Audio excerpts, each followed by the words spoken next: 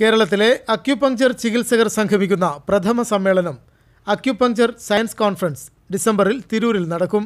തിരൂരിലെ അക്യുഷ് അക്യുപങ്ചർ അക്കാദമിയിൽ വെച്ച് നടന്ന സ്വാഗത സംഘ രൂപീകരണ യോഗത്തിൽ നിരവധി പേർ പങ്കെടുത്തു.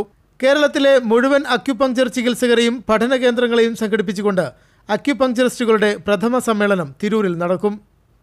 രണ്ടായിരത്തി പത്തൊൻപത് ഡിസംബറിൽ തിരൂർ വാഗൺ ട്രാജഡി സ്മാരക ടൗൺ ഹാൾ വേദിയാകും.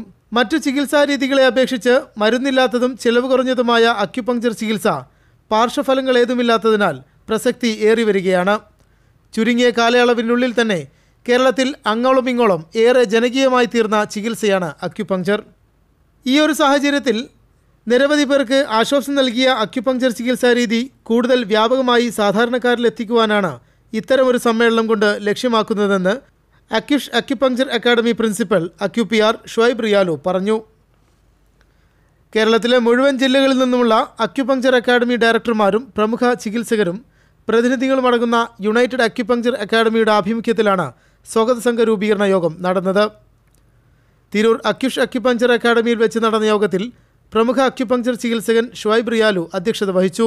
അക്യുപിആർ അബ്ദുൽ നിയാർ സ്വാഗതം ആശംസിച്ച ചടങ്ങിൽ താജുദ്ദീൻ കെ കെ ഉദ്ഘാടനം നിർവഹിച്ചു.